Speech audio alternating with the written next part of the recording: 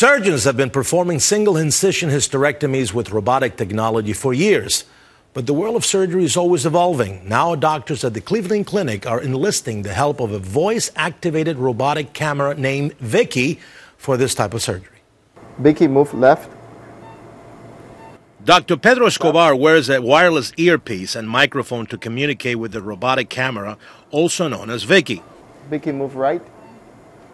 She responds back if she cannot complete the command or has run out of room. It's more of a hybrid technology in which the surgeon has a robotic assistant for controlling the camera. At the same time, the surgeon is doing the surgery with his or her own hands. During single incision surgeries, where the entire procedure is done through a very small opening, the robotic camera allows for extra room in maneuvering tiny tools. Dr. Escobar says having a robot in control of the camera versus a human assistant is helpful.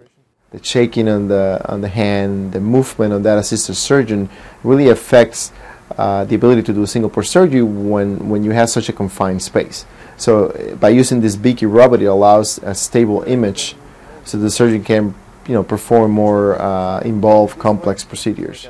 Right now, the robot is being used in single incision surgeries through the belly button for hysterectomies, removal of ovarian cysts, and cancerous female tumors. I'm Dr. Manny, Fox News.